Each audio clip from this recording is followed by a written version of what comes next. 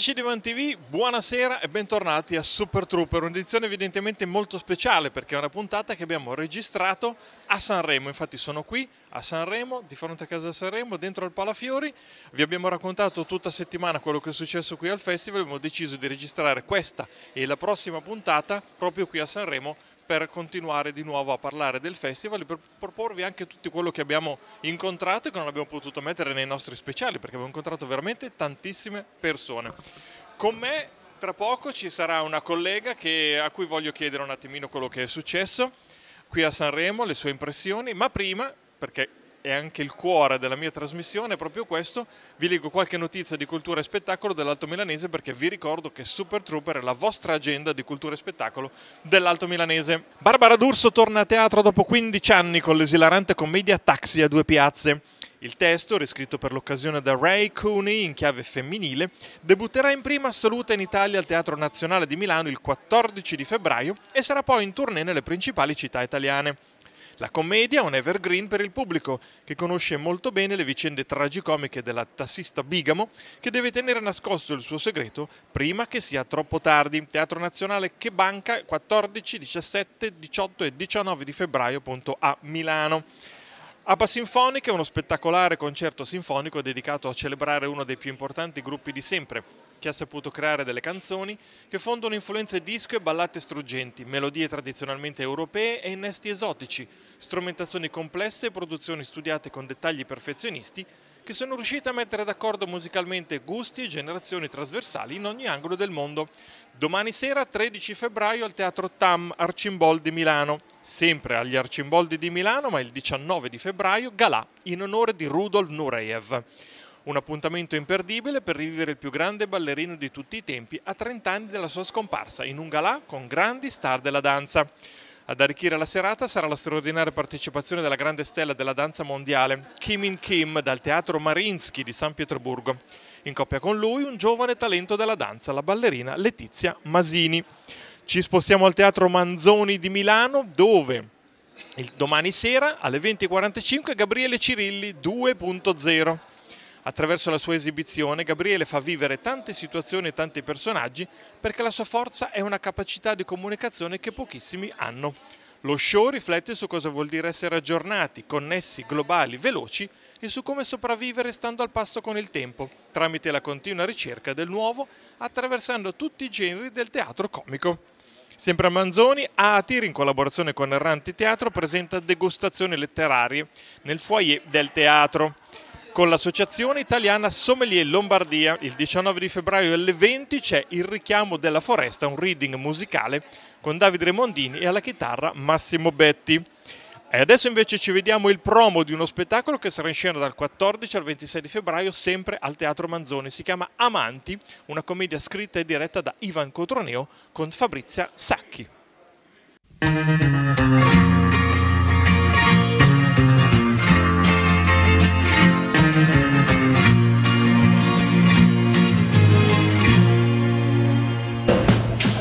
Piacere, io sono Giulio. Claudia. Oggi sono 37 giorni dalla prima volta che l'abbiamo fatto qui dentro. 37. Eh, Perché tu non le conti? Non, non te lo ricordi la prima volta che l'abbiamo fatto? 37 giorni fa. che adesso scende con le sue mani fredde su di me. Cosa gli hai detto? Sto tradendo mia moglie e sto mettendo le corna, sto avendo un'avventura, sto avendo una No. storia, sto facendo una relazione. Allora, si ricorda quando io eh, dicevi che mi stava eh, facendo un'avventura? Eh? Si ricorda? Ho sbagliato, ho sbagliato, volevo dire relazione, relazione. Ti sento dottoressa, smetti di toccarti quella cravatta ogni due minuti? Ma che buono, mi piace. Non c'è bisogno che te la lisci ogni due per tre! Lei mi sta finendo tutta la carne. Dimmi che non ti stancherai mai di me. Lei, è lei che sta avendo una storia extraconiugale mentre cerca di avere un figlio, non suo marito. Si fa così, si fa. Lasciare un uomo da solo, con la famiglia. Fiori non vola più, che non vola più, che non vola più. Bentornati, vi avevo detto che appunto avrei invitato una collega per parlare di Sanremo, noi siamo qua sempre a Sanremo e voi ci, naturalmente saremo già a casa quando vedrete questa puntata. Ciao Laura, benvenuta. Laura Defendi, ricordiamo per chi scrivi. Allora io scrivo per la Prealpina e Sempione News e poi il mio amore per la radio con Radio Punto. L'avete vista tante volte naturalmente sia sui social che appunto l'avete anche letta banalmente compagni di viaggio da, da, da tanti anni. Ehm, questa edizione del festival, secondo te, come sta? Allora, devo dire che ero qui anche l'anno scorso quando tutto era fermo e quindi tornare a vedere le persone, le dinamiche del festival è stata una grande sorpresa, secondo me è la vera grande vittoria del festival. Da un punto di vista artistico secondo me è mancato sia tra i big sia tra i giovani ma anche tra le cover l'effetto wow, eh, forse ci dobbiamo riallenare anche a queste grandi kermesse, eh, però insomma eh, è comunque stato bello rivedere Sanremo in grande spolvero, forse il palco più bello è quello di Piazza Colombo e quindi l'auspicio che ci portiamo a casa dopo questo festival è di far tornare i grandi palchi nelle piazze italiane. Comunque le aspettative sono state deluse o rispettate? No, deluse assolutamente no, diciamo che è mancato solo quel, diciamo, quella scintilla in più, però le aspettative assolutamente no. Forse è stato anche un po' questo, che ha funzionato tutto, è andato tutto come doveva essere e Sanremo invece ci aveva abituato anche a qualche colpo di scena. Però insomma non è più l'epoca di Pippo Baudo, è l'epoca di Amadeus, vedremo se sarà ancora l'epoca di Amadeus. Io candido la Fagnani, anche se l'altra sera anche Annalisa Minetti si è candidata non solo per cantare ma anche per presentare il festival, quindi vedremo se ci sarà una donna alla conduzione. Colpi di scena vero presunti ne abbiamo visti, ne parliamo tra poco. Prima c'è un'intervista che abbiamo registrato la scorsa settimana con Sergio Sgrilli e la sua compagnia perché uno, hanno portato in giro uno spettacolo, lo stanno ancora portando in giro in, in tutta Italia, noi siamo andati a vederlo per voi, si chiama Camera con crimini e abbiamo intervistato appunto i protagonisti. Questi sono loro e ci ritroviamo subito dopo. Amici di One TV, il condominio, il teatro condominio di Gallarate ospita una commedia dove si riderà tantissimo, ma secondo me ci sarà anche un po' da pensare. Ho detto bene, Sergio Sgrilli. Mi, mi, mi dai già l'ansia. Noi eh, facciamo, mettiamo in scena questa commedia brillante che si chiama Camera con crimini, che è stata scritta 40 anni fa, però eh, da due americani, però ci abbiamo messo un po' del nostro. Quindi tendenzialmente la mia cifra è quella di mm, far passare una bella serata alle persone, farli ridere, farli stare bene, però ognuno prende un po' ciò che c'è, quindi non è che dovete venire a pensare, dovete venire a star bene, poi se qualche risata vi dà anche qualche stimolo, qualche input per rivedere il vostro rapporto di coppia o con il vostro dentista, quello poi vedete voi. Ah, quindi il, il dentista, perché leggevo che c'era uno belloccio e quindi è lui, non sei tu quello bello. Aristide Genovese, per me un faro nel buio, un, un pilastro dove appoggiarmi quando mi perdo, fa il dentista che non solo è un dentista bravissimo, ma è uno che si intrufola nelle vite, nelle famiglie altrui. E... e Corinna Grandi, che in questo caso è mia moglie, che è un'attrice, una comica, eh, autrice perché si scrive i suoi pezzi meravigliosa, ma in questa commedia è mia moglie che diciamo eh, sente prime, la, la, primavera, sente le prim, primavere. Senti, noi siamo stati abituati molto bene a vederti naturalmente con queste tue stand-up comedy piuttosto che partecipazioni zeliche e quant'altro, adesso però ti devi rapportare anche con altri attori sul palco. Com'è stato questo cambiamento? Allora, chiedelo a loro, perché se no eh, parlo solo io e, e, risiamo lì al vedere Sergio Sgrilli. Poi io ti dico la fine, però sentiamo cosa dicono prima loro. Allora, come lavorare con Sergio Sgrilli? Sentiamo. Vai, vai, no, vai, Aristide, vai. Come, con lui qua cosa devo dire? è meraviglioso, è bellissimo. No, io, per me è stata un'esperienza nuova perché io non, non vengo dal cabaret, non vengo dalla stand-up, per cui facendo teatro da tanti anni, lavorando con loro è, stato, è stata una bellissima esperienza, ci si mette sul palco insieme e ci si dà, ci si dà una mano. Il risultato lo, vedremo, lo vedrete questa sera, è molto molto molto divertente e devo dire che è stato molto piacevole anche lavorarci insieme a Sergio. Faccio, vi faccio notare che ha parlato tutto al passato, come per dire prima e ultima volta. Sentiamo Corinna invece cosa dice. Allora, uso... Lavorare con Sergio Sgrilli è un'opportunità incredibile che la vita mi ha voluto offrire. no, è stato molto bello. Eh, io sono sempre stata abituata a parte cose passate, ma ultimamente eh, lavoro da sola, quindi sono sul palco da sola, scrivo da sola.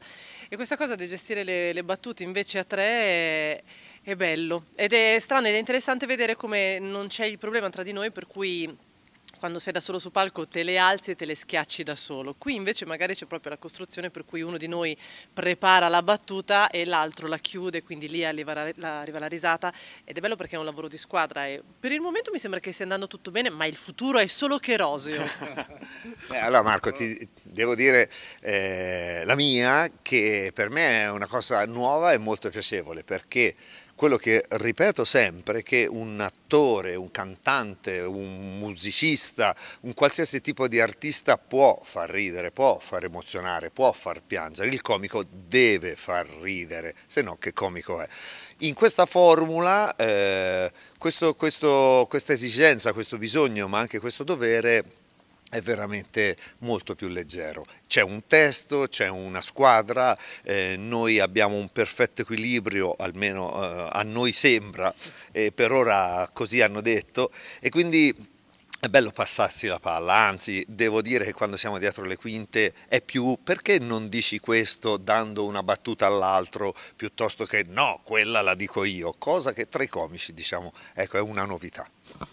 Ariste, quali sentimenti ci sono in questa commedia? Beh, eh, l'amore, l'amore sicuramente, poi c'è mh, mm, la, l'attenzione, l'attenzione eh, come dire, a, al rapporto, l'attenzione a se stessi, l'attenzione comunque, comunque alla vita. Adesso non voglio andare troppo in profondità perché magari poi uno dice dov'è questa attenzione. No, ma però come dicevi tu all'inizio sicuramente dentro il divertimento c'è, qualche pensiero un po' più profondo, ecco, per cui eh, sicuramente è un testo che... Mh, preso così scatena qualche emozione, il divertimento sicuramente, la gioia, la felicità, ma anche magari il pensiero su quello che può essere un rapporto di coppia o comunque per quanto mi riguarda l'idea che in fondo il rispetto per la persona non viene mai prevaricato, ecco, per cui non lo so se lo vedrete stasera, ma secondo me c'è. Ah, noi sì, sicuramente. Invece a Corinna chiedo le domande che uno potrebbe farsi dopo aver visto uno spettacolo così. Cioè, tipo, fatti una domanda e datti una risposta? Beh, la prima domanda che uno che dovrebbe farsi uscendo di qui è quando faranno un'altra commedia insieme? Che è bellissima. Poi forse magari stasera no, ma stasera faremo il meglio che possiamo. Le domande. Ma perché è la domanda più difficile a me? Io stavo tanto tranquilla e non lo so che domande si possono fare. Si possono domandare, mm, ad esempio, in scena questa sera vedranno diversi tipi di comicità, cioè nel senso c'è la comicità di battuta, ci sono le situazioni, ci sono delle situazioni nelle quali non ci sono parole ma si ride perché è il corpo che, che fa ridere. Quindi magari un, uno spettatore attento potrebbe anche andare a casa e chiedersi hai visto quanti tipi diversi? Qual è, chissà qual è quello che mi è piaciuto di più? E magari da lì andare ad approfondire quella cosa e andare a cercare altre cose di quel tipo di comicità, magari scoprono delle cose nuove. Secondo me la domanda che tornando a casa qualcuno si potrebbe porre, o forse dovrebbe, è chissà come sono io da fuori, perché in realtà questo è, un, è, è, una, è una, famiglia, è una vita vista da fuori e, e in cui accadono delle cose. Si ride, si scherza, l'umanità senza volerlo è spesso giudicante, no? poi magari arriva il giudizio, lo prendi, il più evoluto lo manda via, però c'è. Da fuori qui si ride, si scherza, si gioca di una famiglia, di una vita normale che potrebbe essere veramente la mia, quella del mio vicino di casa, così. Andando via in un contesto, da un contesto in cui mm, non si pretende niente, uno potrebbe dire chissà com'è la mia famiglia vista da fuori. Ecco, questo potrebbe essere una... perché magari poi ci si potrebbe fare un'altra commedia, attenzione, noi vi spiamo. Vedete che c'è anche modo appunto per riflettere, appunto, però ridendo e quindi rimaniamo così. Camera con crimini naturalmente, forse l'abbiamo detto, forse no. Di Sergio Sgrilli. Ma, eh, lei è una che si ricorda tutto, quindi chi è che ha scritto questo testo? Di Sam Bobrick e Ron Clark. Hai capito? Regia di? Pier Giorgio Piccoli che è il nostro regista, abbiamo produzione di Teama eh, Teatro, che è una realtà importante di Vicenza, eh, di cui eh, Aristide è parte integrante, eh, mh, prodotto dagli incamminati, siamo qui al Teatro Condominio, po- molta emozione. Io l'ultima volta avevo fatto uno splendido sold out, poi c'ero venuto poco fa con un progetto sugli ABBA, E c'eravamo. e stasera, e stasera, stasera faremo di tutto per divertirvi. Voi, ci- voi fi- vi fermate, vero? Tutti si fermano. Ok. Cameron aveva detto sì con la testa, per cui sì. Grazie a tutti. Questa- Grazie a voi. Gra- grazie a voi. Sempre molto interessante naturalmente incontrare anche Sergio Sgrilli, un grandissimo professionista, un amico che saluto volentieri anche in questa occasione. Torno con Laura Defendi, mia ospite di oggi, stiamo un po' commentando questo, questo festival che appunto è finito perché la replica, come dicevamo appunto domenica sera stiamo appunto registrando la puntata perché noi siamo, siamo qua, non ci siamo schiodati, dicevamo qualche colpo di così vero presunto eh, c'è stato, c'è stato appunto Blanco che ha, che ha dato, di, che ha dato di matto, io però non, non do sempre troppo peso a queste cose, non faccio pubblicità a queste cose qua, lasciamo gli altri che parlino, parliamo invece di, di musica.